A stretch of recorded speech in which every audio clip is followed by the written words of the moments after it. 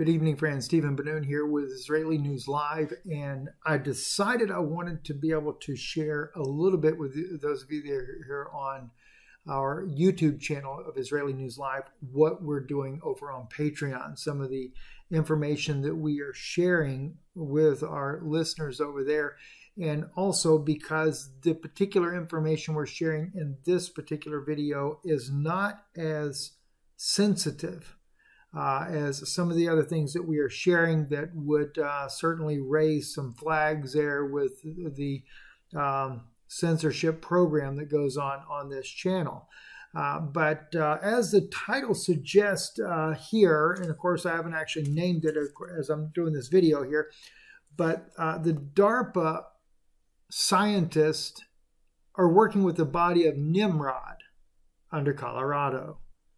Um, that is what we're going to get into today, uh, as well as some other things that they're doing. I actually had this video up here uh, I thought was kind of interesting as I speak about this. I figured maybe we could kind of let this maybe run here in the background for you. But uh, uh, this was some of the, it's actually the vault there that they have there in Iraq and some of the treasures that were found there in his uh, his tomb. And so I wanted to kind of let that kind of play for you guys so you can kind of see that uh, as we talk about this.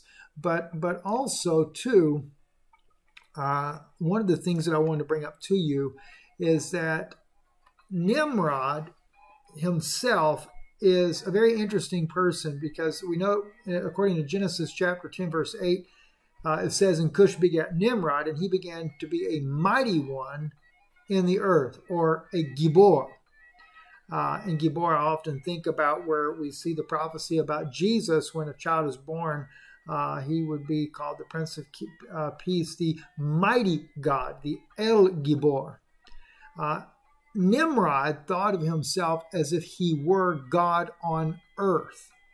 Uh, it is also spoken about the Giborim, which were the giants, the descendants of the Nephilim, the people in the promised land uh, as reported by the 12 spies that went to spy out the lands, that they were the Gibborim. And Goliath, of course, we know was part of uh, one of the Gibborim or the El Gibor, or not El Gibor, but Gibor. And the Nephilim and the Gibborim are the Egyptian and Greek and Roman gods. They were uh, one of mix of a mixed bloodline. Uh, they were part human and they were part fallen angel and they were uh, basically unredeemable according to the scripture, as we know that God destroyed uh, everything that, that, that, they were before the flood. But they ended up back on the earth once again, even after the flood. Uh, so Nimrod is from that lineage, and there are. Um, you know, th- this is where we end up today. So there's a lot of biblical thoughts, and I'm going to want to be sharing in a, in a biblical teaching on this here, but I'm not actually ready to be able to share that tonight. But uh, I, I, did want, I want to kind of make this a little bit bigger for you as well, so you can see this good on your screen there. Some of the artifacts in here also include the serpents uh, that are going to be on a crown. You're going to see in just a little bit uh, the things that were found inside of his tomb. And although we're, I think you're seeing Iraqi soldiers there, they are wearing American fatigues there we actually went to war in Iraq for the body of Nimrod as well as some artifacts that were in his tomb. And I'm not talking about the gold and silver like they allowed the Iraqi people to keep there. We're talking about the, the very elements that give the uh, scientists, the U.S. scientists, as well as some other world scientists there, to make CERN become a multi-dimensional device. I've shared that with you guys before. Well, at any rate, there, I was trying to find out some updated information about Nimrod and his body because it had been told to me that not only did we bring the body of Nimrod back here to the United States, we also, oh, wait a minute, there's one right there. Let me just stop there and look at that. Look at that winged uh, creature, and I'm not sure if that is on a crown or whatever, like a, a winged woman there. Um, this part of that crown some of the things that I've seen in this artwork here, yeah, it is a crown there, uh, and she's wrapped around all the way around there, is that um, it is really, you can see the evidence of the Nephilim bloodline seen in a lot of the artifacts that were discovered there in his tomb. Look at there, there you go again. The all-seeing eye, uh, the ring that would have been worn there with the all-seeing eye. Uh, I find that fascinating as well, and um, you know, and and that may have been a there. And now you have the, uh, I think that's considered the Ouroboros, the, but I don't know if that's a serpent or not that's where uh, the ring comes from, is from the snake wrapped around. Uh, but there are, let me just see here if I can find it here. There's going to be a place in here somewhere. I may have already passed it. Maybe I'll just kind of move forward a little bit. Um, it might be further back. So let me let me back up there and just see as I'm walk, uh, easing along. Here. There, there it is, right there. It's actually right there. There is uh, what appears to be the serpents themselves there. Uh, and I'm not sure if that's a crown or what's that that is on there. Maybe they'll they'll back out and we'll, we'll see that a little bit better there. Uh, again, showing the the um, the descendant of the Nephilim, or as Jesus said about the Pharisees of his day, that they were of their father the devil. They were serpents. They were vipers. All right. Now let me go into though the, the, this issue here, and I want to kind of I'll just back up and kind of leave that right there on where it was. They're showing that serpent head type thing on this crown thing or whatever that is. Um, but I was asking again about Nimrod because I knew that they were working on resurrecting the body of Nimrod. And from what I have been told, against all scientific belief that could be possible, it appears that they may very well have done that. Uh, let me give a little bit of background, though, on some of the things that DARPA has been working on. And this is just information that uh, that I have uh, some some knowledge on, and um, but it is a bit sketchy that type of knowledge when you're dealing with DARPA. DARPA is a very secretive organization there, but uh, some of the uh, colleagues that I have there, scientists that cross boundaries there, you might say, with, with other scientists so you can kind of pick up on some of the things that are going on. But DARPA has been working now for, for quite a few years now, several years at least, on soul transference.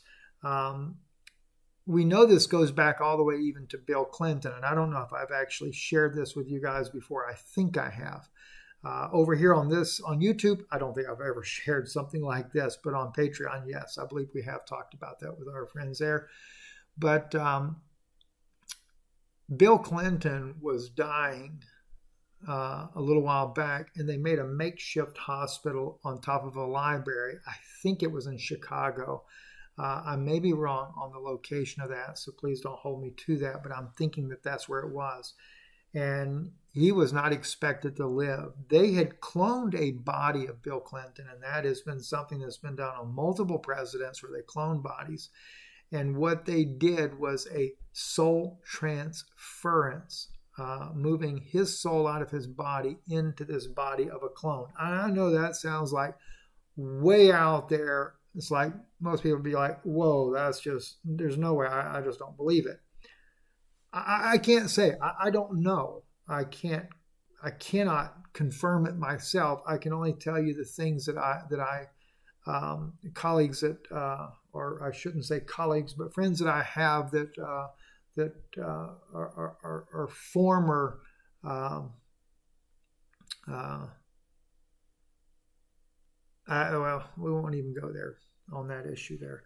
But anyway, uh, friends that I have that are in the intelligence community that have shared this type of information with me that tell me about that that that was actually done with Bill Clinton. And not only that, but in the last couple of years, they have been studying uh, deeply about the uh, some sort of energy that is transferred. Demonic possession is really what it comes down to. Uh, that can be transferred uh, this they call, the, the scientists call it energy because they're atheists they don't believe in god so therefore they don't believe in demons uh, but they do know they, they they refer to this more as an energy. But those scientists that are believers in jesus that know about these things they call it demonic entities. And they have done experiments on human beings because they're able to uh, detect and and follow this energy as it moves. And they have seen that they can easily move these in this energy or these spirits into the human body. Uh, and these people then become demonically possessed. So these are some of the things that are going on. And as a result of this so not, this is what i'm leading up to on this was it was shared with me a little while back uh, maybe a month or so ago that against everything scientifically that one scientist, scientist friend of mine uh, could possibly believe that it was said that the body of Nimrod, they had successfully put his spirit back in, or we would say a spirit, not so much, we can't verify that it's his spirit, but a, a spirit into, into that body that they brought back from Mosul, Iraq. Um, also, reminding you, those of you that may not know, it was Hillary Clinton that was heavily involved in the the bringing back the body of Nimrod. She was uh, very much involved there at the White House when George Bush was president there, uh, and so yes, she was in, involved in all of those things that were going on there. So, but anyway, this is the reason why we went to war. By the way, in Iraq uh, was because of the body of Nimrod. And, uh, and as I said, the artifacts that ended up making CERN actually become. Uh, wait a minute, wait, whoa, whoa, just a minute. I just did notice something there, and I had not noticed this before. Let me back this up here just for a minute. Yes, U.S. Army. So we're looking at artifacts in Iraq, and we have U.S. Army soldiers present. I had not noticed that on their uniforms before. Uh, of course, you can see right here an American face there, and maybe somebody you guys might even know. I have no idea, but the U.S. Army there looking at this artifacts here, that only helps confirm the fact, as I had said before, we were there, we went into there, and we took these artifacts out. Now, there were, by the way, the Marines were the ones that actually went into the grave initially, and there were several uh, Marines that actually got possessed of very evil demonic spirits uh, came back to the United States and ended up in some very serious crimes, ended up being put in prison. There were a lot of people killed as a result of that, um, etc. I've talked about that as well before. But going back to the situation though about Nimrod's body, uh, they wanted to get that his spirit back into his body, and as I said, supposedly that actually took place. But what was interesting was is that I've been wondering where is Nimrod's body being kept at? And from what I was told just recently, and this was very, um, it's not 100%. It's trying to glean information from those scientists working with DARPA, which is very difficult. So they didn't say everything but they knew that these one group of scientists had flown to Colorado. And they had spoke about that uh, when they got off the plane, immediately they went about 10 stories underground. And when they went underground was very interesting. And this, of course, this is not actually what you're seeing here. I just I'm just going to show you this image here just as a result. But there was some sort of vault um, that they actually had to go in behind to go where allegedly this may be where the body of Nimrod is actually being kept. Uh, as a result, the scientists that were involved in this were very tight lipped. They did have Marines as their guards and escorts there, uh, so they had some sense of security. But when they went in behind this vaulted door, and again, it's not the vaulted door here you see on this video, it's a totally different vaulted door there under Colorado, deep underground there in a secret base that we have. Um, they said immediately you could feel a difference in the atmosphere on the other side, and that there was a very evil groaning going on of demonic voices. And they were scared beyond belief. Uh, now, they were also tight lipped about this mission. They just simply mentioned that uh, as part of what was going on. Now, I do know that the scientists that I know uh, knew that they were going to uh, work on this case about Nimrod's body. So we've not been able to glean for sure exactly what is going on, but it is believed that Nimrod's body is under the airport in that secret military base there in Colorado. Uh, and I'm going to do a biblical teaching on this. I've been trying to find it. My wife had found this once before. Some of the early Christians actually believed that Nimrod would be the Antichrist. Uh, and that may sound a little bit strange, but yet when you look at the scriptural uh, description in the book of Revelation, he is, he is not, but yet he is, and he is uh, one of the seven, but he is the eighth. Um, could that have been referring to Nimrod? Nimrod coming back? Does he have a deadly wound? Sure, he does. Uh, and that would be interesting because Satan is a copycat. He copies everything that God does. So Jesus comes as the true Son of God, gives his life, dies on a cross, resurrects. Well, Satan wants to have the same thing. He wants to have his man wounded and raised up again. So, could it be that this issue with Nimrod could actually really be um, a prophecy in the Bible that could be fulfilled in the coming days? I don't know. We're going to get into that. Uh, and and the other thing too, I'll just kind of share because kind of part of what I'm speaking about here anyway that, that we were I was in this discussion with recently, and that is that um, there there was a lot uh, of discussion in regards to what the scientists are, are seeing that we are going to have a major increase of crime as a result of demonic possession, or as they say, this energy that is coming in. I say energy because this is the atheists that are the scientists working on this that do not believe in spirits. They just believe it's an energy that's able to take over the people. Uh, I've also wondered, too, though, could there be uh, something more along the lines with the 5G technology and them manipulating the people and controlling them and causing them to commit such crimes?